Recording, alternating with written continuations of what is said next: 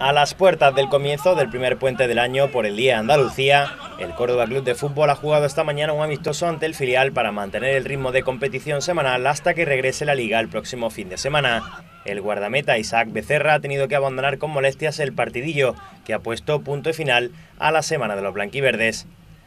Pablo Alfaro ha dado descanso a sus jugadores hasta el próximo lunes, día en el que comenzarán a preparar el partido de la antepenúltima jornada de liga ante el Real Murcia un encuentro que tendrá lugar en el Arcángel el domingo 7 de marzo a las 6 de la tarde y al que podrán asistir al menos 400 espectadores.